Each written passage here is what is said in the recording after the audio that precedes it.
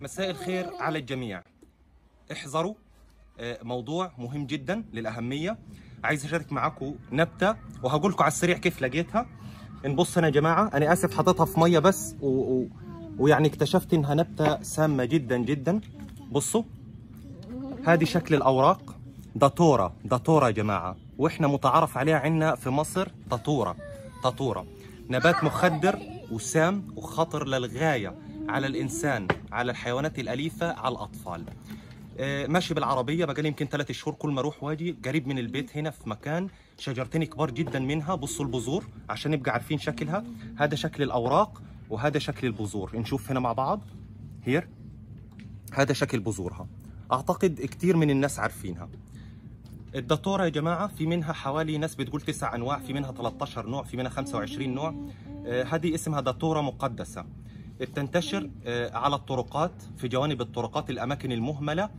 آه، للأسف ج- يعني أنا كانت عجباني جدا لأنها بتسمى بوق الملائكة آه، بوق الشيطان لها أسماء كتير جدا.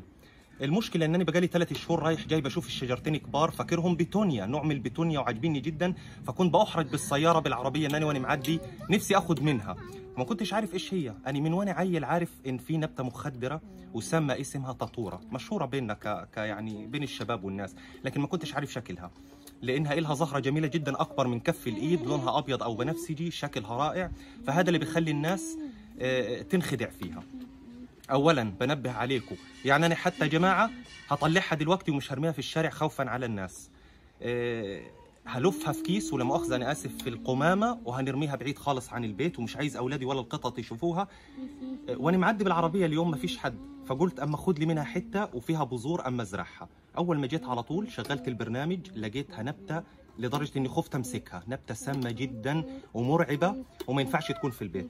اللي خلاني أعمل الفيديو عايز أحذركم وفي نفس هي طبعا نبتة طبية وبتستخدم في حاجات طبية كتير لكنها سامة فيها آه، قلويدات زي الإسكوبولامين الأتروبين هيوس هي- هيوستامين حاجات معينة بتدخل في الطب بطريقة رائعة لكن إحنا كبشر ما ينفعش. كل أجزائها سامة. الورق الساق البذور الثمرة الجذور كل ما فيها سام من أعلى النباتات سميه فترعبت منها وقلت لا حذاري حذاري لازم أشارك الموضوع مع الناس. آه، بتدخل في في حاجات طبية كتير وغيره وغيره. أنا جبت منها على أساس أزرع لما اكتشفت ودخلت بالبرنامج ولقيت قوة السم اللي فيها بصراحة ترعبت وقلت لا أعمل فيديو أنبه وأقول للناس أهي شكلها في منها ملساء وفي منها بتشوك وقلت أشارككم المعلومة نحذر إيش اللي خلاني يا جماعة يعني اليوم لسه الموضوع هذا ومن شوية خدت الصورة اترعبت. إيش اللي خلاني أشارك معاكم الموضوع؟ بحثت على السريع لقيت إنها منتشرة بطريقة رهيبة وناس حاطة إلها صور بالذات في العراق اليمن سوريا مصر. منتشرة بطريقة خيالية في كل مكان. بتطلع ممكن عندنا في الحديقة وإحنا مش عارفين إنها شبه البيتونيا من عائلة الباذنجانيات. فممكن ناس تنخدع فيها كل اللي فيها سام. فطبعا أنا هرميها هبعدها عن البيت خالص. آه، اللي مجنني إن في ناس كتيرة مش عايز أروج إلها. يعني هو الفيديو تحذير مش دعاية. في ناس كتير يعني على النت كاتبين إنها مفيدة وإلها فوائد وكيف نستخدمها. في نفس الوقت ناس بتحذر منها بطريقة رهيبة هلوسة آه، مشاكل. ممكن ناس تنتحر وترمي نفسها من من البيت من البلكونة بتسبب أمراض ومشاكل جبارة إحنا في غنى عنها. فأنا قلت أنوه لحضراتكم اللي يشوف الشكل هذا في أي مكان ومطلع الشكل هي شبيهة بالخروع. إزالة إبادة ونحرص يعني أنا المفروض لابس جلابس أو جوانتي. إزالة على طول يا جماعة ومش نحرقها ولا مع ان لها فوائد رهيبة لما قريت طبيا. لكن مين هيستخدمها منا طبيا؟ يعني ناس تقول لك خد ملعقة منها وناس تقول خد مش عارف إيه. احرق الورق واشربوا السجاير.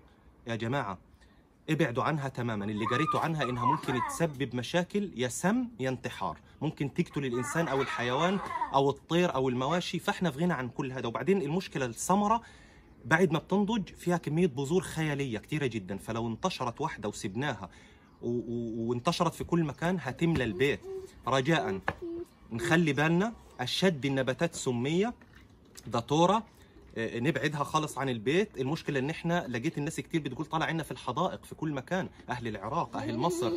آه، فيعني حذاري. ونخلي بالنا حبيت أشارك معاكم الموضوع يا رب نكون استفدنا. الداتورة من أشد النباتات سمية ومخدر. ابعدوا عنها تماما تلاشوها شيلوها لو لقيتوها عندكم في الحديقة أو جنب الطرقات قريبة من البيت.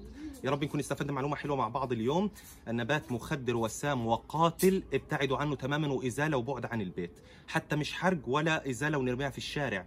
نلفها ولا مؤاخذة في القمامة ونشيلها مع, مع الحاجات تطلع على طول بعيد وهم يتصرفوا في موضوع القمامة والريسايكلينج. يا رب دعموا الاشتراك يسعدنا وجودكم معنا في القناة. مساء الورد عليكم من أخوكم نعيم. والسلام عليكم ورحمة الله وبركاته.